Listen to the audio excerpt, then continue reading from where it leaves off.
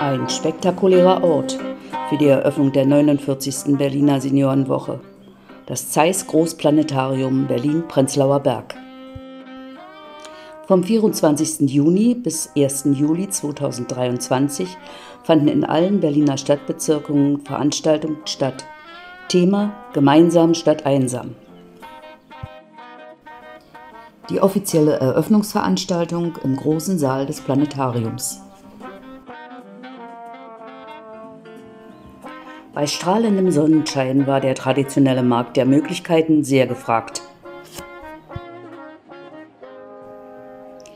Eine Vielzahl von Organisationen, Institutionen und Vereinen haben ihre Ideen und Angebote vorgestellt.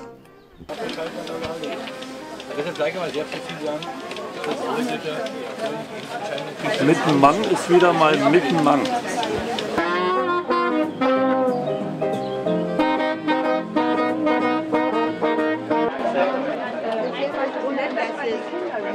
Wir sind Seniorpartner in Schulen und gehen als Senioren, ausgebildete Schulmediatoren an die Schulen, um den Kindern bei der Lösung ihrer Konflikte zu helfen. Und dazu erhalten unsere Senioren eine Ausbildung zum Schulmediator und äh, gehen dann mit großer Begeisterung eigentlich in die Schulen, in die Berliner Grundschulen und Sekundarschulen, um dort ja, gewaltfreie Prävention eigentlich in den Schulen zu leisten.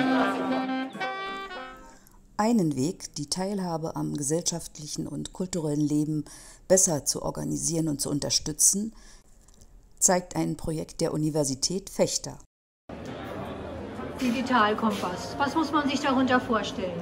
Der Digitalkompass ist dafür da, um Menschen mit Sinnes- und Mobilitätsbeeinträchtigungen auf dem Weg in die digitale Welt zu helfen. Dazu haben wir zum einen unser Schulungsangebot, wo wir Ehrenamtlichen aufzeigen, wie sie in ihren alltäglichen Beratungsangeboten auf Menschen mit Sinnesbeeinträchtigungen ähm, eingehen können. Das heißt, worauf muss ich achten, wenn ich jemanden mit einer äh, Hörbeeinträchtigung oder Sehbeeinträchtigung habe? Und zum anderen ist unser Angebot für Menschen mit Mobilitätsbeeinträchtigung das digitale Lerntandem. Dort haben Sie die Möglichkeit, sich anzumelden und über einen Zeitraum von neun Wochen eine studierende Person zugeordnet zu bekommen.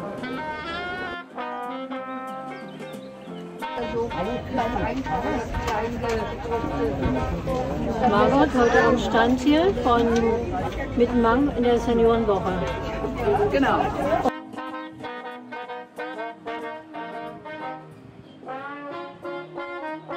Und was wollen wir hier machen? Na, wir wollen uns etwas vorstellen. Unsere Gruppe, unsere Seniorengruppe, die ja äh, bei Alex Berlin oder für Alex Berlin filmt. Und wir wollen unsere Aktivitäten einfach vorstellen und vielleicht Interessierte finden, die bei uns mitmachen wollen.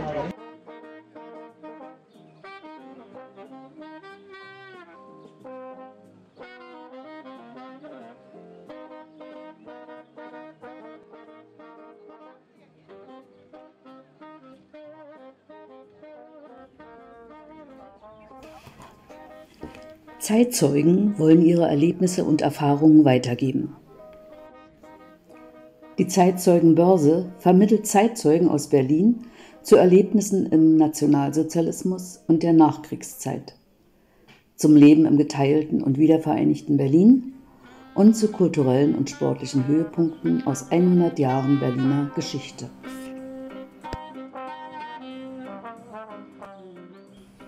Eine Vielzahl von Informationen bezieht sich auf die klassischen Themen. Pflege, Betreuung und unterstützende Hilfe.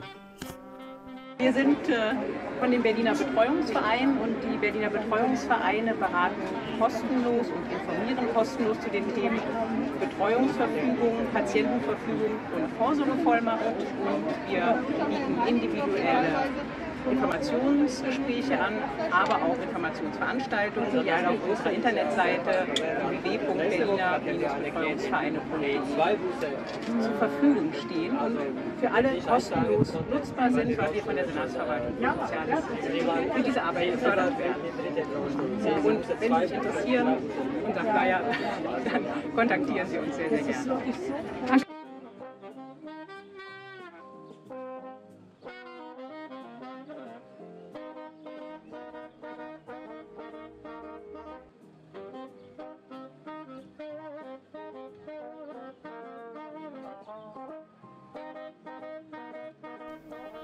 Zu Fragen des letzten Lebensabschnittes waren Hilfsangebote unter anderem des Hospiz- und Palliativverbandes Berlin e.V. und der Gesellschaft Humanes Leben, Humanes Sterben vor Ort.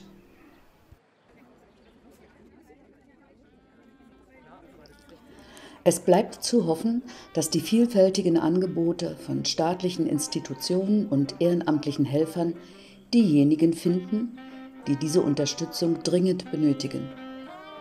Mir hat sich an diesem Tag gezeigt, es gibt aus allen Teilen des gesellschaftlichen Spektrums Hilfsangebote.